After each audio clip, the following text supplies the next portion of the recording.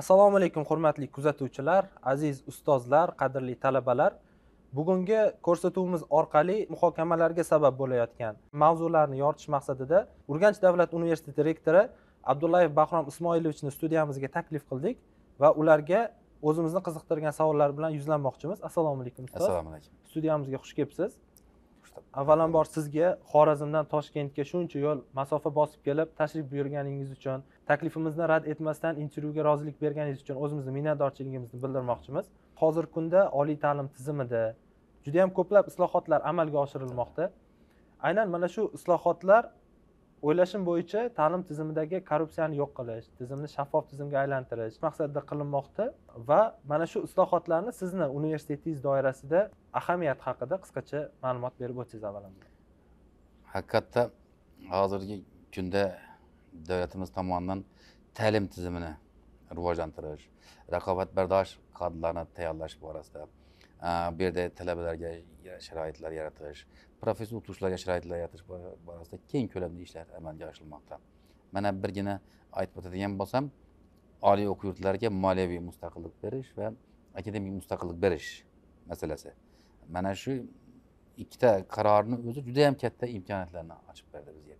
Va mana shu moliyaviy mustaqillik berish natijasida biz endi o'zimizning e, byudjetdan tashqari mablag'larimizni o'zimiz xohlagan maqsadlarda o'zimiz yo'naltiradigan bo'ldik. Buning natijasida mana yangi talabalar turar joylarni qurib turibmiz. Mm, eskilarini ta'minlab turibmiz yangi o'quv binolarini qurib turibmiz. Va chet el adabiyotlarini yangi adabiyotlarni bemalol o'zimiz sotib olib turibmiz.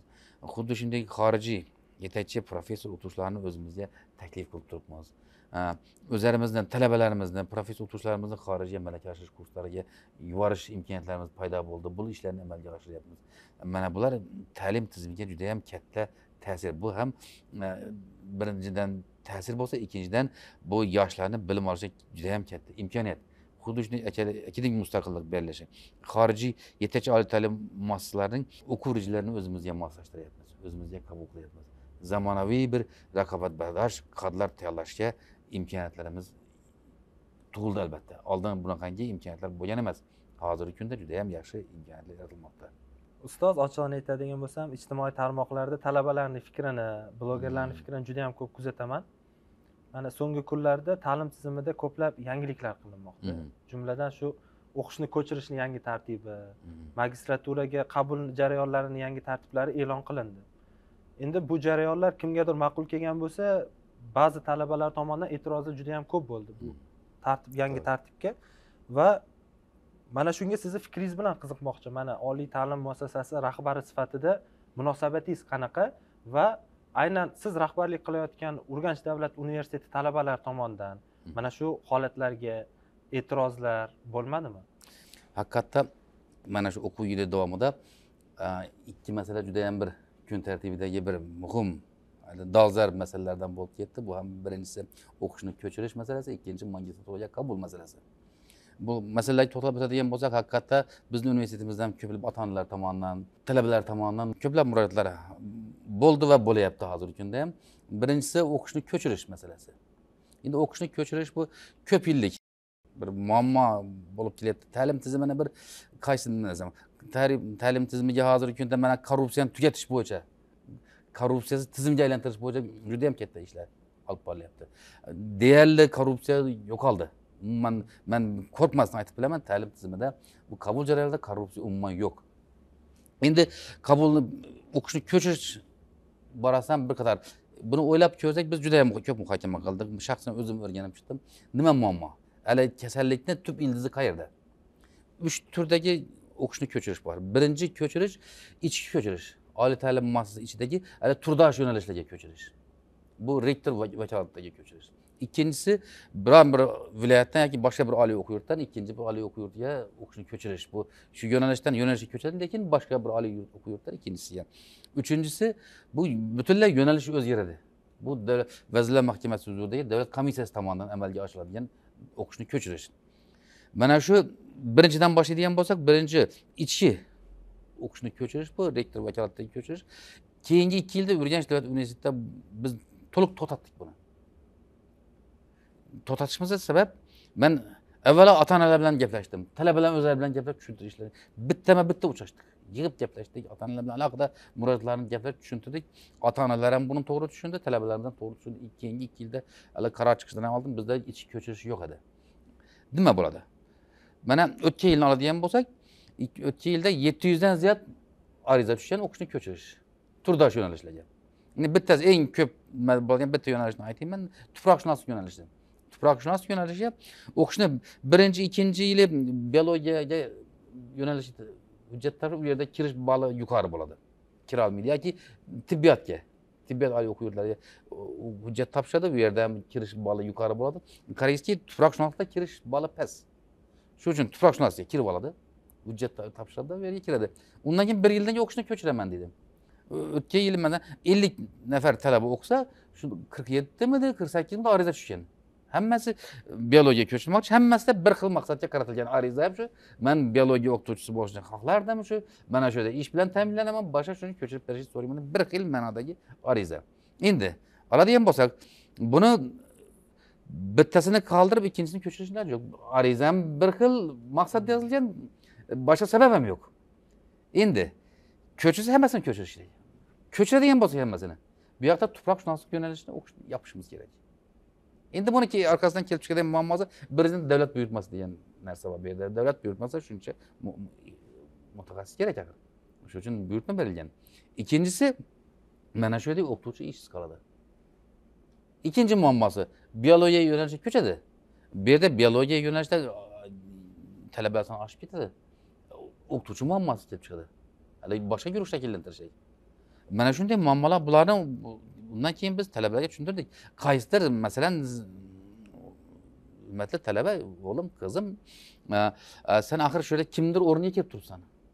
Sen shu yerga kirmaganingda shu yerga hujjat topshirmaganingda boshqa bir abituriyent shu yerga hujjat topshirib tuproqshunos bo'lishni istagan xohishi bor odam hujjat topshirdi o'qirdi. Sen birinchidan shuni o'rnini egallading ikkinchidan bu yerda hozir davlat buyurtmasiga nima bajarilmay qoladi deb shu ma'noda biz tushuntirish ishlarini olib borganimizdan keyin talabalar to'g'ri tushundi.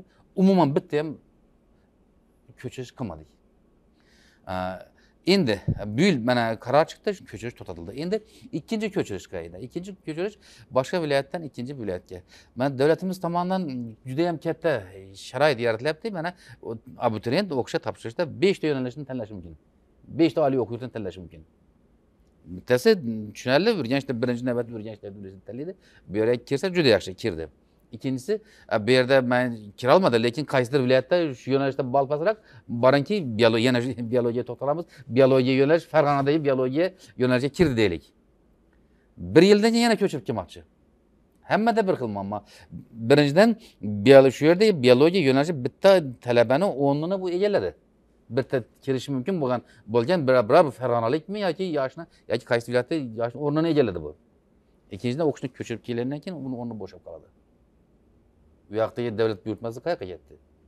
Yoki ikkinchi bu yoqqa ko'chirib kelgandan keyin mana o'tgan yili bizda ikki ming sakkiz yuzga yaqin perevod keldi. Ichki mana shu respublikamiz ichidagi perevod. Bu bizda yangi o'ziga yarasha bizda muammolarni tug'dirib boshladi bu. Chunki sig'imimiz chegaralangan professor o'qituvchilarimiz soni chegaralangan o'qitish muammosi dars sifati deydi. Bu ustiga ustak muammolarni tug'diradi birinchidan. Ikkinchi muammo ko'chirgan viloyatdan ko'chirgan oliy o'quv yurtiga muammo. U yerda kontrakt o'rin bo'shab qoladi. U yerda qaysidir nimada qaysidir o'qituvchini yuklamasi pasayadi. Shuningdek yotoqxona muammosi ayni kunda o'zi yotoqxona muammo bo'lib turgan paytda ikki ming sakkiz yuz talaba bizga keldi. Hali man bu yerda xorijiy ko'chirishni aytmayapman. Ichki respublikamizda aytyapman ikki ming sakkiz yuz talabani e, kamida teng yarmiga yotoqxona kerak. Biz qayerdan yotoqxona topib beramiz? Bu kutilmagandagi nima rejada yo'q kelish talabalarni ko'chib kelishi. Aynan endi mana shu endi buni ota onalarimiz ham to'g'ri tushunishlari kerak. Vaqtda mana besh yo'nalish tanladimi?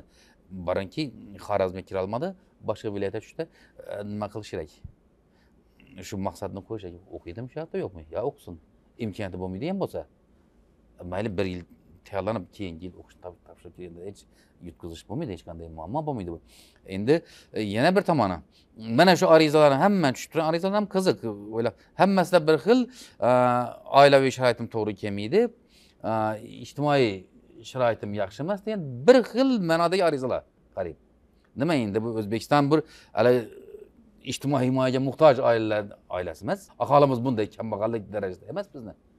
Katta ko'pchilik aholimiz sharoiti imkoni juda yaxshi. Lekin hali ariza bir xil ma'noda shu ko'chishi uchun ko'chirish kerak. Uni ustiga boringki buxoroga kirdi yoki xorazmlik talaba buxoroga kirdi yoki bir vodiydagi biror oliy o'quv yurtidan kelgan bo'lsa bu aksincha bundan xursand bo'lish kerak. Shu yerni madaniyatini o'rganadi. Shu yerdagi talabalar do'stlashadi do'stlar orttiradi. Shu yerni tarixini o'rganadi. Bu bir tomondan bilim olsa ikkinchi tomondan qanchadan qancha do'st orttiradi? Uchinchi tomondan qancha shu yerni tarixini o'rganadi? Aksincha bundan xursand bo'lishi kerak ota onalarimiz ham xursand bo'lishi kerak talabalarimiz ham xursand bo'lishi kerak bu qarorni chiqishi nur ustiga ala nur bo'ldi. Endi uchinchi perevod bu hali yo'nalish o'zgarish. Evaziga bu bir amallab o'qishga kirib olgan undan keyin bir amallab shu perevodni iziga tushib shunday bir перевод qilib ariza bergandan keyin qaysida masalan buni davlat komissiyasi ko'rib chiqadi bir sharoitini ko'rib ruxsat beradi yarmiga chunki hammasini qilolmaydi yarmiga bir perevodga ruxsat berilgan. Bu yoqda kimlardir qaysidir firibgarlar aralashadi bu ishlarga firibgarlik kimdir pulni berib qaytarib ololmaydi kimdir o'zi o'tib ketadi kimdir pulni olib qo'yadi. Ana shunaqangi bir korrupsion holatlar ro'y beradi. Mana shuni evaziga aytadigan bo'lsak bu yil birgina e, ijodiy imtihon topshiradigan butun universitetimiz bo'yicha ikki ming uch yuzdan sal oshdi. Hujjat topshirish barcha ijodiy imtihon topshirish kasbiy imtihon topshiradigan yo'nalishlarga. Oldingi yillari oldinlari bitta jismoniy tarbiya ta'lim yo'nalishi bo'yicha uch yarim mingga yaqin ariza tushardi bu qancha sarf xarajat qancha vaqt mana endi ota onalar ham buni tushunib qolishadi hozirgi kunda ko'pchilik tomonidan keng muhokamalarga sabab bo'layotgan magistratura mavzusiga Mm. to'xtalsak joriy yildan e'tiboran magistraturaga qabul jarayonlari o'sha xorijiy til sertifikati va Mm. bakalavr diplomini o'rtacha reyting ko'rsatkichi asosida imtihonlarsiz amalga oshirilmoqda. Va buni topshirilayotgan hujjatlar soniga magistraturaga o'qishga kirish ishtiyoqidagi talabalarni o'zaro fikriga qandaydir bir ta'sir o'tkazmoqda. Shulardan kelib chiqib fikrlaringiz bilan o'rtoqlashsangiz magistratura nima o'zi magistratura mana to'rt yil bakalavrni bitkazdi mayli ishlab chiqarish qilib ishlayverish mumkin magistraturaga kimlar topshiradi magistraturaga keyin kelajakda bir niyati bor ya'ni ilmiy ish qilaman ilmiy faoliyatimni davom qildiraman degan e, maqsadi bor yoshlar magistraturaga topshirishi mumkin endi ilmiy ishni qanday qiladi til bilmasa qanday ilmiy ish olib boradi qanday hozir dunyoda bo'layotgan yangiliklarni o'rganib biladi asosan aksariyat nimalarimiz ma'lumotlar ingliz tilida yoki boshqa bir chet tillarda yozilgan shu bilish uchun albatta til bilish kerak endi e, shu o'rinda magistraturaga kirish uchun albatta sertifikat til sertifikatini bilish avvalambor hech bir qiyinchilik tug'dirmaydi talabalarimiz uchun man bir misol tariqasida aytib o'taman universitetimizda ko'plab biz hozir xorijiy professorlarni taklif qilamiz leksiya o'qiydi undan keyin man bular bilan suhbatlashib turaman qani fikringiz qanday bizni talabalarimizni bilimi to'g'risida bir qiziqish to'g'risida fikrlarini haqida so'rab tursam bir olim endi e, minglik top minglikka kiradigan universitet. Aniqrog'i top uch yuzlikdagi universitetdan kelgan professor. Ikkita muammo bor ekan sizda dedi aslida sizlarni bolalarni bilimi bizni bolalarni bilimidan yuqori. Lekin muammoli tomoni ikkita muammo emas bu ikkita kamchilik. Sifatida qarab o'tdi birinchisi til muammosi.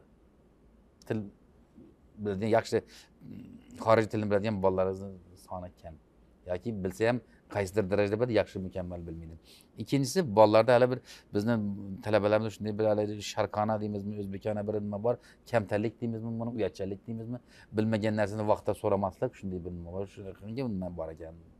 Kamchilik. Agarda ikkita e, shu kamchilikni tuzatsangizlar bolalarning shu kamchiliklari bartaraf qilinsa sizlarni bolalar juda yuqori juda salohiyatli juda qobiliyatli yigit qizlar ekanda bir fikrni bildirdi.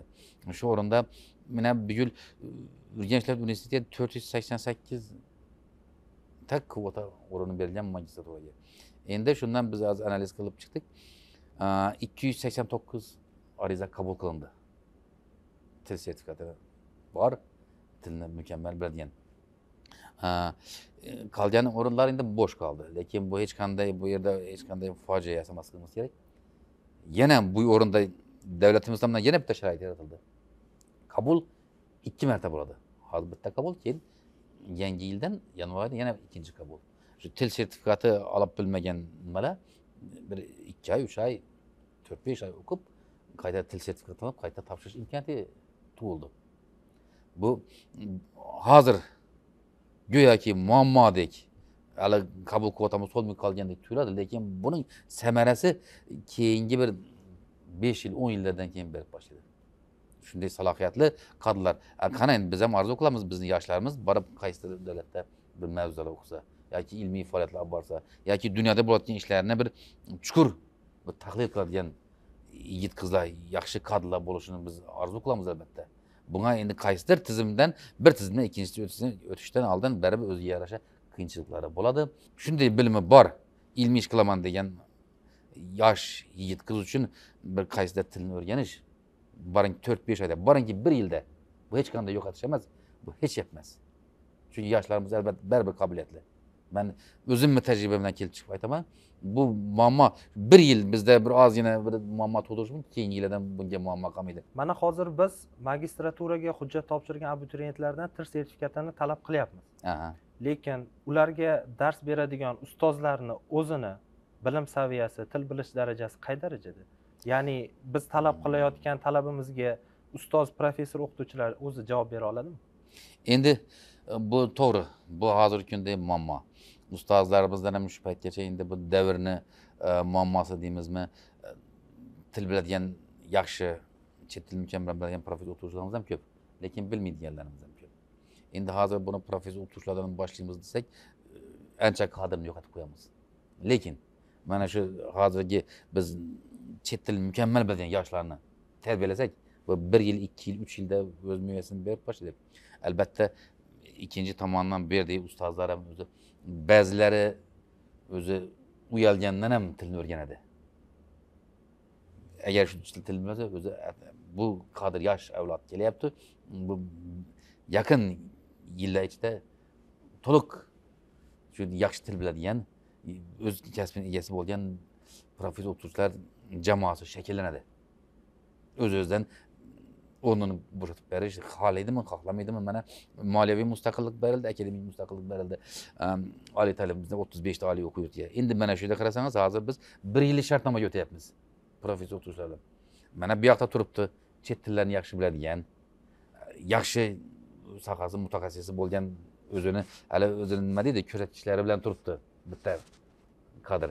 Ikkinchi bu yoqdan tilni bilmaydigan yoki ilmiy salohiyati past o'qituvchi turibdi. Bir yil shartnoma oliy ta'lim muassasasi endi o'z o'zini moliyalashtirish tizimi o'zini oliy ta'lim muassasasini obro'si uchun kurashadi. Shu shu muassasa rahbari. Endi albatta buni tanlaydi.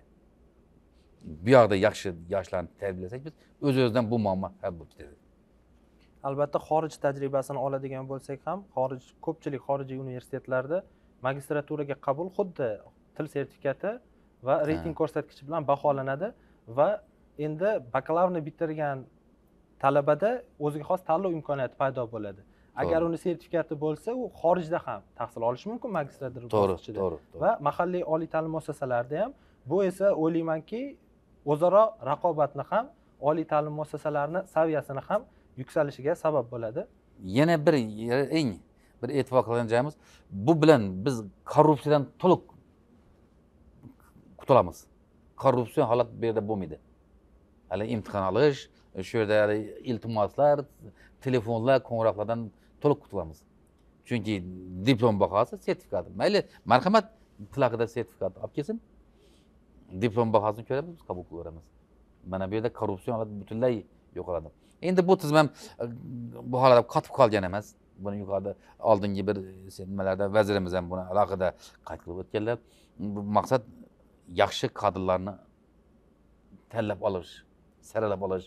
Bu borada bu tizim bu holat qotib qolmaydi. Yana yangi bir xorij tajribalari o'rganib yildan yilga yangi bir ehm, nimalarni yangiliklarni tadbiq qilamiz. Ta'limda to'xtab qolsak mana shu yerda hali nimani aytib o'taman? Eynshteynni bir gapi bor yaxshi gapi.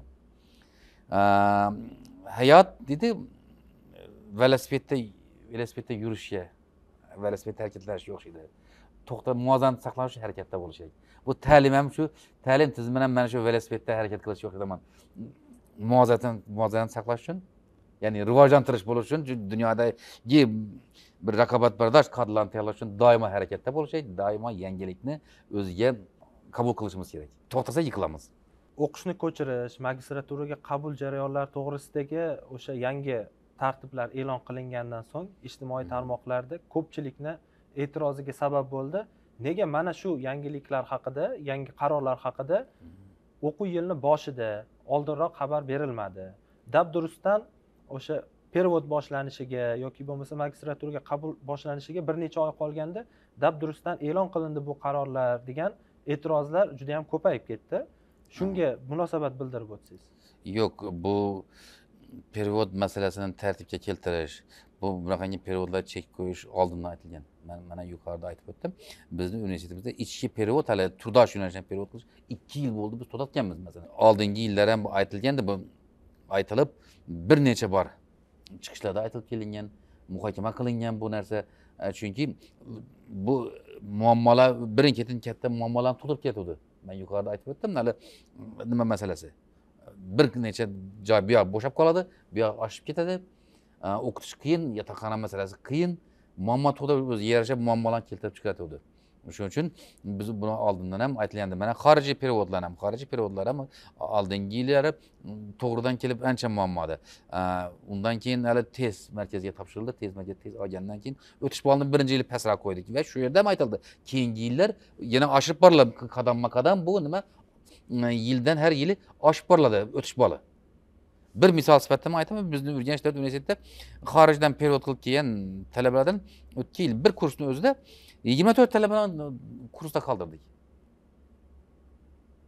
Qaysidir xorijiy o'quv yurtlariga e, bir hujjat topshirgan borib ham ko'rmagan. Lekin keyin hujjat kelib perevod qilib kelib turibdi. Rus tili ta'lim yo'nalishida o'zga tilli guruhlarda rus tili ta'lim yo'nalishida ruscha e, ism familiyasini to'g'ri yoza olmaydi. Lekin перевод qilib o'zgartirib keyin ko'chirib o'qishni endi hozirgi kunda bular e, hali o'qishda kursda qoldirgandan keyin alohida tayyorlan- tayyorgarlik boshladilar o'qib e, xuddi shunday bu ichki perevodlar respublikamizda yani beshta yo'nalishni tanlab bu sharoit yaratilgan sayin birin ketin hali e, muammolar kelib chiqdi. Shuning uchun ota onalar ham buni talabalarni to'g'ri tushunishlik va to'g'ri yondashib shu o'zini topshirgan joyida o'qishlik.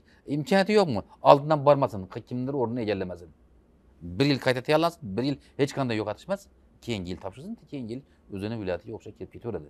Xuddi shuningdek mana oldindan aytmading degan. Agarda oldindan biz e'lon qiladigan bo'lsak bo'lsak mana shu keyingi yildan to'xtaydi desak bizni hali o'ziga yos o'ziga xos bir ajoyib xarakter bor bir xususiyat bor bizni o'zbek xalqimizda. Keyingi yildan перевод to'xtar ekan deb shu hamma shu tanish bilish qilib boshqa qilib kimgadir bir nima qilib yugurishma boshlanib ketadi. Bu aksar bu yerda kelib chiqib undan keyin hali korrupsion holatlar paydo bo'lib boshlaydi. Endi ikkinchi tomondan bu ta'limda qilib turgan har bir yangilik har bir o'zgarish faqat xalqni yoshlarni manfaatini ko'zlab bo'lib turibdi. Ertangi kunni ko'zlab bo'lib kelajagini ko'zlab bo'lib turibdi. Bu hammasi faqat yoshlar uchun. Endi yoshlarimiz buni to'g'ri tushunishi kerak. Shuning uchun ham bu qaysi har bir reformani oldini aytmasdan shu birin ketin bundan keyin ham shu ta'limni yaxshilash bo'yicha o'zgarishlar yana davom qiladi. Har bir o'zgarishi har bir nimaga deydi yangilikka baribir talabalarimiz ham ota onalar ham tayyor turishi kerak. Hali bu oxiri emas yana shu yaxshilash uchun bir qator man o'ylayman davlatimiz tomonidan yangiliklar amalga oshiriladi. Birin ketin bunday yangiliklar faqat yaxshi maqsad yaxshi kadr tayyorlash. Yaxshi mutaxassisni tayyorlab jamiyatga tayyorlab berish. Bu yerda mehnat qilgan yaxshi o'qigan bilimli yoshlar hech qachon o'tqazmaydi faqat yutadi. Bugungi fikrlaringiz uchun tashrifingiz uchun kattakon rahmat. Endi e, suhbatimiz so'ngida mana yangi o'quv yil boshlanish arafasida talaba yoshlarga ota onalarga murojaatingiz bo'lsa marhamat bildirib albatta man talaba yoshlari ota onalarga bitta murojaatim shu mm, davlatimizni qilayotgan g'amxo'rliklarini yoshlarni bilim olishini yaratayotgan sharoitlarni bir to'g'ri tushunsalar. Farzandlarimizni to'g'ri yo'lga bir halol yashashga halol ishlashga halol o'qishga yo'naltiraylik.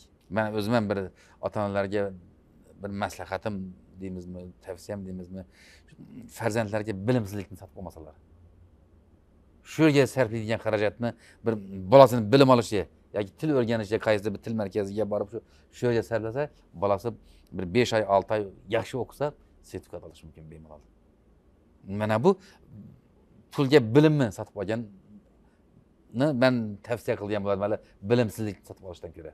Mana shu yangi o'quv yilini boshlanish arafasida turibmiz talabalarga yoshlarga bir mening istaklarim shu talabalarimiz har bir sodda aytadigan bo'lsa o'zini o'qiyotgan guruhida yoki ertaga bir jamoasida yoki bir hayot umuman hayotda o'zlarini o'rniga ega bo'lsalar ularni kerakligi doim sezilib tursa yaxshi kadrlar bo'lsa va yaxshi to'la bir barkamol inson bo'lib yetishsalar. Endi bularga erishish uchun albatta hozirdan yaxshi o'qish kerak harakat qilish kerak chet tillarini o'rganish kerak o'zini sohasi bo'yicha yaxshi mutaxassis bo'lish kerak. Hurmatli kuzatuvchilar aziz talabalar bugun hozirgi kunda talabalar ichida eng dolzarb bo'lib turgan mavzularga o'ziga xos ustozimizdan javob olishga harakat qildik va o'ylaymizki mazkur loyihamiz sizga manzur bo'ladi. Sizdan fikrlaringizni kommentariyada yozib qoldirishingizni so'rab qolamiz va yana bir savol bilan sizga yuzlanmoqchiman. Loyihamiz davomiy bo'ladigan bo'lsa keyingi soniga aynan qaysi oliy ta'lim muassasasi rektorini taklif qilishimizni xohlardingiz? Izohlarda fikrlaringizni yozib qoldiring va biz sizni talabingizni qondirishga harakat qilamiz. O'zingizni ehtiyot qiling loyihamizni keyingi sonlarda ko'rishguncha.